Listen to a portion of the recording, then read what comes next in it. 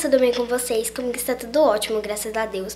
Bom, hoje eu tô aqui pra gravar um vídeo, que é um vídeo dos meus hidratantes, tá bom? Que eu tenho no momento. Eu espero que vocês gostem, tá bom? Então quem quiser ver é só continuar assistindo Agora e vou começar a mostrar os meus hidratantes. Bom, vou começar por esse daqui da Manange, tá bom? Ele é de óleo de amêndoas, vem com 200 ml. Ele tem um cheirinho super gostoso. Eu já usei ele algumas vezes e ele é bom. Eu recomendo, ele hidrata bastante a pele. É, outro que eu também já usei é esse aqui da Avon. Ele já tá quase acabando, tá? Esse aqui vem com 400 ml. E ele é assim, eu recomendo também ele. Ele também é de amêndoas, só que ele é de amêndoas e leite. Não tem só amêndoas, tem leite também, né? Esse aqui eu também recomendo que ele hidrata bastante a pele. É, outro que é o que eu tô usando é esse aqui da Avon, que ele é de erva doce, tá bom? Ele tem vitamina E e ele vem com 300 ml. Ele tem essa tampinha aqui, ó.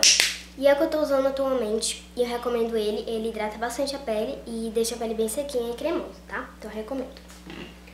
É, um que eu tô esperando esses daí acabar pra mim usar, que eu ganhei, é esse aqui da Natura Soul. Que ele é um hidratante, 20, dura 24 horas e é, vem 200 ml, tá bom? Ele tem essa tampinha aqui, ó. O cheirinho dele é muito gostoso. E esse aqui eu não sei se eu recomendo porque ainda não comecei a usar.